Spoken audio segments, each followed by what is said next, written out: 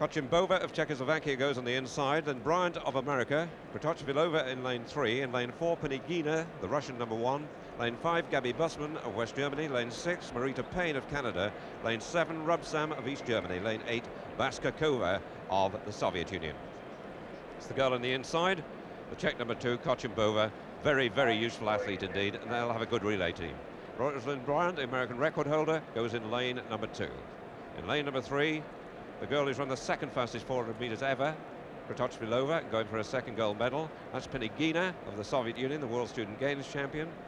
Moving up to lane five, Gaby Bussmann, the West German number one. Lane six, Marita Payne, who broke the Canadian record yesterday in qualifying. Lane seven, Rubsam of East Germany, the 1979 European Junior champion, and Baskakova of the Soviet Union on the outside. The World Championship 400 metres final.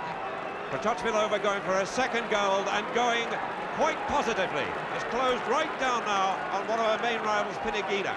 Into the back straight, wins slightly behind, and Pinigina beginning to respond. And Marita Payne going well for Canada in lane six. On the inside, Kocembova has run a very fast first 200 metres, and the battle is really on now, and this is where strength tells and Kratochvilova has surely got it. It looks very fast indeed. Pinigina fighting like mad against the power of the Czech. But Kratochvilova leads. Kochim on the inside. It's still Kratochvilova coming away for her second goal. And it's going to be Czechoslovakia one and two. And could it be a new world record? Kratochvilova wins. Kocembova in second place. Pinigina third. And the world record has gone. The first woman ever inside 48 Marita Koch's record has gone, and Czechoslovakia not only get the world record and the world championship, but they get gold and silver. A fantastic run, and really the world record was made possible by the running of the Soviet athlete, Pinigina, who really fought back, but faded in the end to third place.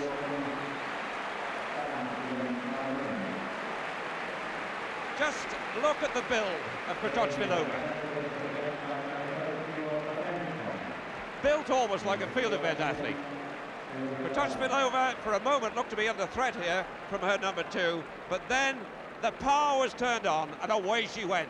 And as she came down that straight, I'm quite sure she could see the top ticking away in front. It's just beyond the finish, and she knew the world record was possible. So beaten previously by Marita Koch in the Olympic Games and in the European Championship. She now has the satisfaction of taking the world record back from Marita Koch, who decided not to run the 400 metres, but to concentrate on the sprints. As a matter of fact, David, I think Stan Greenberg lost his nerve on that one. He was saying it's incredibly fast, but he wouldn't say just how fast it was at 200. It was 23.2 at 200, and Stan would hardly commit himself because it was devastatingly fast. Never been through that fast before. So what a range she's got. 200, 400 and 800 world champion and really she looks a world champion every inch of her.